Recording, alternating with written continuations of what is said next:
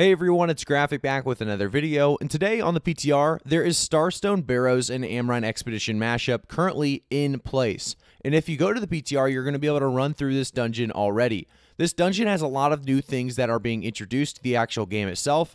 First off, we're going to see the Bile Bomb being introduced with the Starstone and Amrine mix-up or mashup, I should say. So you can see here the Creeping Vial or Crippling Vial inflicts slows on successful hits, reducing target's movement speed by 20% for 3 seconds, and then you can also get that Exhausting Vial, inflicting exhaust on successful hits, reducing target stamina regeneration by 30%. So they're continuing to add more heart runes already. I'm sure they've even got more prepared for when the time comes.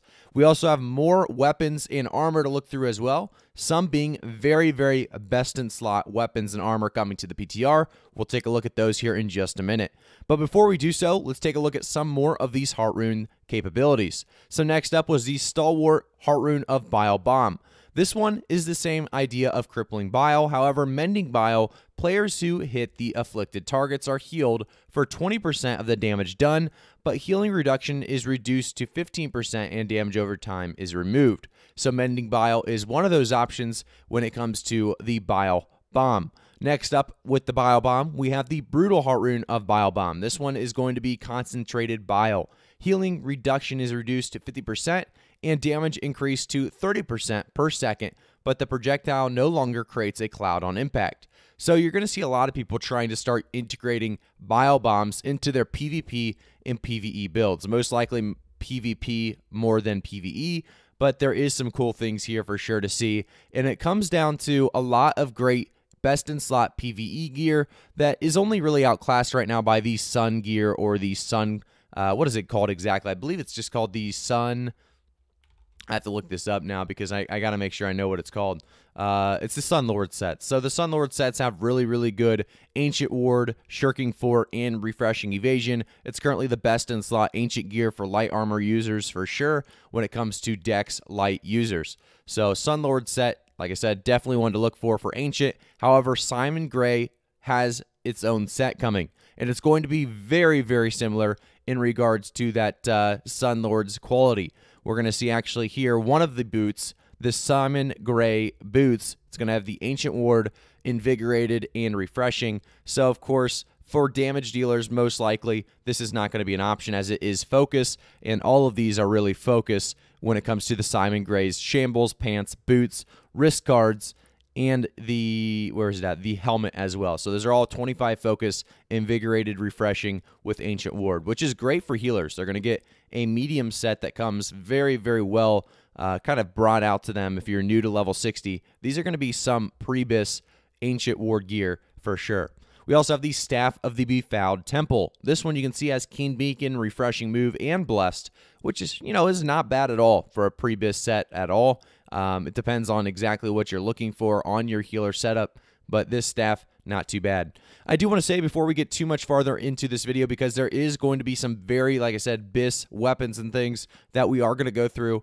If you haven't already, make sure to like the video, subscribe to the channel, and turn notifications on. And if you guys didn't know, we stream on twitch.tv slash igraphici every Saturday, Monday, and Thursday at 6 p.m. Eastern. We got the finalized schedule down, and we are going to be streaming at 6 p.m. Eastern to probably about 2 a.m. Eastern. So make sure to tune in for those streams on, like I said, Monday, Thursday, and Saturday.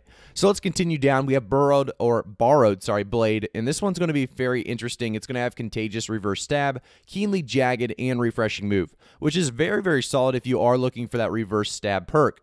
This is going to be a strength, uh, you know, obviously blade here that a lot of people going sword and shield may look for. I want to go into the Tainted Dragon, though. This is going to have the empowering shooting stance, plagued crits, and Vorpal. Not a terrible, terrible musket at all if you are looking for those plagued crits. Next up, we have Simon Gray's Shambles. We already talked about all of the focus gear that they brought out that is Simon Gray. And like I said, I think this is good. We needed to see more focus gear for healers. However, is medium, so you're going to only be able to select a few pieces if you're going to continue to run light in Ancient Dungeons. Next up, we have the space between. If you look at the space between, it has hated, which you generate more threat, not bad for a sword. Light and heavy attacks deal more damage, enchanted, and keenly fortified. All fairly decent when it comes to a sword with tanking capabilities. Next up, we have the Crusher's Craze. Crusher's Craze is, you know, not too crazy because we do have Chain Fire there. If you like Chain Fire, that's something you may go for. But Life Stealing, Enchanted, and Chain Fire, not really the Warhammer we're looking for. However, there is one later in this video that I looked at that uh, does have some pretty cool stuff going with it. So, Amrine's Forgotten Axe, definitely a cool name there. Taking Amrine under its belt there with the with the naming system, but it has strength, refreshing, keen berserk, and keenly empowered. So it's definitely something you're going to want to take if you are looking to run that Berserk in just kind of the open world PvE. However, realistically, you are going to want Refreshing Torrent or Vicious or Rogue or Backstab with the Rogue or additional damage there. So this is probably a hatchet you're going to skip out on for the most part. We have Lost Faith next up in line. Lost Faith is going to actually have the Blessed, Refreshing Divine Embrace, and then Mortal Refreshment. So one thing I really like to see here is we are getting a lot of different life staffs for people that are going to give them a lot of different options if they're trying to go, you know, certain unique builds. We have Darkness Defined next in line. This is going to be a 29 strength, light and heavy attacks deal 9.5% more damage. We have Chain Void and Thwarting Strikes. The Thwarting Strikes plus Enchanted is a very, very strong start for the Great Axe, and plus Chain Void's not too bad either. So another potentially a pre-bis here. Uh, I know a lot of people looking for specific ability perks on there as well, but this is not too bad. As getting fresh level 60, take this in a heartbeat. I want to look at the next one though Amrine Excavator's Amulet, Purify, Refreshing, and Health. Health and Refreshing, very solid on an Amulet, but Purify, when you're hit below that 50% health, you lose all debuffs. Probably something I would not really want to take. Uh, it's not bad per se, but it's not a bad amulet. It's just realistically not a BIS. We continue farther down. We have the Caverns Lurkers defense. This is going to give you Dex, of course, because it is a bow, bringing you Enchanted, Vorpal, and Shirking Arcane. With the Shirking Arcane, you are going to have that additional dodging through an enemy attack, causing your next hit within six seconds to deal an additional 38% with base weapon damage as arcane. But uh, realistically, there are better bows out there again, like I said, that we will continue to hunt for. Uh, the Cavern Lurker's defense, though, not too bad. Next up, we have in line the Amulet Jewelry, uh, Keepsake, the Nakamisha's or Nakashima's Keepsake. This is going to have mana recovery, health, and arcane protection, something that we don't really need right now, arcane protection. So continuing on, Frozen Mire has Unbroken Winds, Enchanted, and Keenly Fortified. Another kind of ice gauntlet that really just gets outclassed by so many others. Moving on farther down, we have Simon Gray's Toothpick. Very, very cool here to have the refreshing Fleche on top of this rapier with keen and keenly empowered. Definitely not the craziest one out there, but not a bad setup item if you are looking, or setup weapon if you are looking for that refreshing Fleche on a weapon uh, for like kind of that weapon perk or kind of that niche build or utility build where you are looking to continue with refreshing Fleches. So we have next up in line Excavator Safety Helmet. This has critical retribution, resilient, and physical aversion. This is a pretty solid tanky item. Uh, it is a heavy head, but if you're looking for that resilient with physical aversion and critical retribution, this could be very, very solid depending on the build you're looking for. Obviously, people usually want some kind of freedom or some kind of resilient, or not resilient, some kind of freedom or some kind of shirking fort. But uh, you know, this is not a bad option as kind of a just a random piece to throw in there for ex- extra that uh, of that uh, physical aversion is what I'm trying to say. So we move on a little bit farther down. We have more, by the way, a ton more to look at here. There's a lot of new weapons coming in. I think it's about 20 more probably. So let's continue on. We'll try to keep this going at a good pace so you guys can listen and understand that there is BIS items coming from this. It's just a little bit farther down. We'll see some more and uh, some better ones as well. So, Tomb Raider's Rifle. This is going to have Keen, Vorpal, and Keenly Empowered with 29 dexterity. And now we have a spear called Burial Spear. This is going to have the Enchanted, Thwarting Counter, and the Enfeebling Skewer, which is really, really solid. This is maybe a best in slot depending on what you're looking to go, but I really do like this spear. I think this is going to be a lot of people's favorite as, as Enchanted, and you deal 19% additional damage against targets with Active Grit. So huge, huge to have Enchanted and Thwarting. And then also, like I said, the Skewer, a very solid spear to look for in the Amrine Starstone mix-up. Actually, let's make sure that's dropping from that specifically. So it is from Simon Gray, looks like, on the Starstone Barrows mutated dungeon. So very, very cool. Let's go back, though, and continue on down past the spear. So next up, we have Simon's Hack Silver Ring, which is slash damage, leeching, and hardy, which basically looks like a best in slot for some people here for sure. This is going to be very, very solid slash, leeching, and hardy probably a best in slot that a lot of us should be looking for Simon's Hacksilver Ring. Uh, as we continue down, we have Prosperius Prime, or sorry, Prosperius Promise, and it's going to be a focus amulet, uh, or sorry, earring with the health, refreshing, and fortified recovery. So not too bad there. Next up, we have Flare Spark with accelerating flamethrower, refreshing evasion, and critical chance keen. So not too bad yet again. We are starting to see some, you know, pre-BIS stuff. We saw a couple BIS, in my opinion. You know, if we look back at that Simon Silver ring, that's definitely going to be a potential BIS depending on the build you're running. If we continue on down, though, we have the Staff of the Befouled or Befold Temple, and I think we talked about some of the other life staffs being very, very solid. This is another one, Blessed Keen Beacon and Refreshing Move.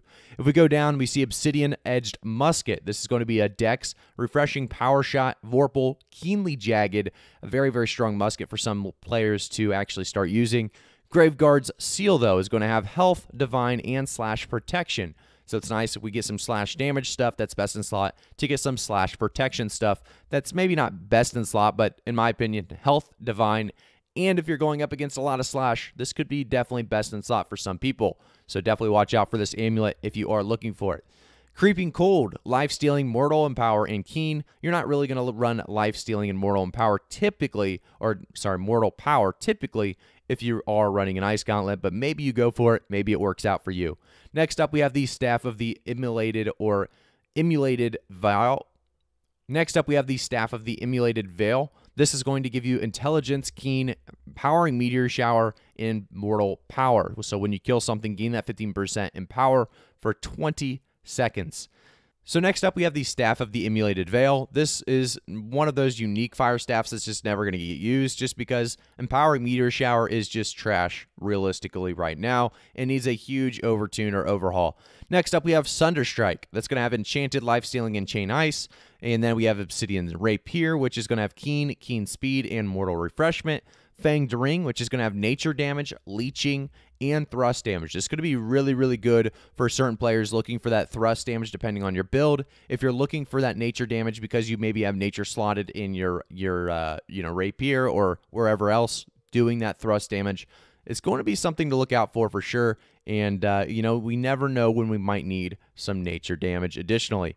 So, Masquerade Mask is next in line. It's going to have intelligence, refreshing freedom, and elemental aversion. Definitely not too bad at all. Like I said, you are missing resilient freedom and shirking fort, but uh, it's not too bad. Like I said, this is one of those masks that you could use as a slot if you are looking for something with just freedom. I know I said it didn't have freedom. I don't know why I said that, but it has refreshing freedom and elemental aversion. So if you need just maybe one piece of freedom and you're missing it because you have resilient and shirking fort on everything else, this could be your freedom piece for sure. Next up, we have the Glacial Longsword. Here we can see the Trenchant crits, keen, and the chain ice. Next up, we have Fleeting Reality. This is going to be a refreshing move, Enchanted and Chain Nature. The Obelisk, though, being one of the best out there when it comes to a Warhammer. Of course, you're not typically going to want the Keen because Keen is critical chance. And realistically, on a Warhammer, the Enchanted plus Sundering Shockwave is great, but uh, something like Trenchant Strikes or something like that would be really, really good here, or Thwarting Strikes, I should say. Very, very solid here. But uh, Keen is going to make this more of a pre-bis set or a pre-bis hammer. Next up, we have Ancient Heartstring. This is going to have the Mortal Life Steal, the Thwarting Counter, and Life Stealing. So very, very solid. And then we have Tip of the Morning Star. So Enfeebling Skewer, Trenchant Rend, and that Keen on top of it. So a lot of great spears coming out with Enfeebling Skewer. So if you like Enfeebling Skewer, this is going to be a patch for you. Now we have the Stone Hewn Ring. This is going to have Hardy, Sacred, and Siphoning. We have Long Winter up next, Shirking Frost, Life Stealing, and Unending Thaw, which is not too bad. You know, we are looking for Unending Thaw. Ice Gauntlets, however, Life Stealing is not going to be too great on an Ice Gauntlet, I wouldn't say. And then Shirking Frost, something that I'm really not looking for on my weapons at the moment. So we have Abyssal Reckoning as well, Keenly Jagged, Refreshing, and Refreshing Rupture. And then Two Face going to be that spear at the very bottom with Plagued Crits, Rogue, and Keen. So another one that has some pretty good potential there with the Spear having Rogue and Keen as well as that Plagued Crits perk or ability perk. Uh, let's continue on down though. We have next up in line unanswered question, which is the strength from, uh, or really the strength sword that has thwarting counter, keenly fortified, and keen. Hybris or Hebris, I would I would assume this is Hybris. By the way, this is the first great sword we've seen out of all of the great swords uh, or sorry, all of the legendaries. There's only been this one great sword, which is crazy to see. This one has Plague Strikes, Refreshing Move, and Trenchant Recovery, though, and it makes sense that there's only one because this thing is unbelievable. Probably a BIS for a lot of different people, depending on what you're looking for, but like I said, it's it's very, very solid. Plague Strikes is something a lot of people may be running if we continue to see so much life stealing out of every single option or every single build. Hybris is one of those great swords that uh, a lot of people will be hunting for, I believe. So let's move on to Lady of the Ancient. This is going to be Mortal Refreshment, Leeching Shrapnel Blast, and then Life Stealing. So a ton, a ton of life stealing from this specific blunderbuss. Next up, we have Ritual's Call. Ritual's Call is going to have Mortal Fortification, Sundering Shockwave, and then Keenly Empowered as well. Very interesting to see the Warhammer have so many different builds uh, and viability with these drops coming. Signal, as well as the bow coming Mortal Power, Enchanted, and Chain Fire. So, very, very strong altogether. Those are all the legendaries I wanted to show you guys today that are coming with Starstone and Amrine mashup. If you guys want to see more every single day here on the channel. Make sure to like the video, subscribe to the channel, and turn notifications on, as well as follow me on Twitch, twitch.tv slash igraphici. I'll say it again, 6 p.m. Eastern to 2 a.m. Eastern on Saturday, Monday, Thursday. Those are the streams coming to you. Make sure to tune in. I'll see you guys all in the next one.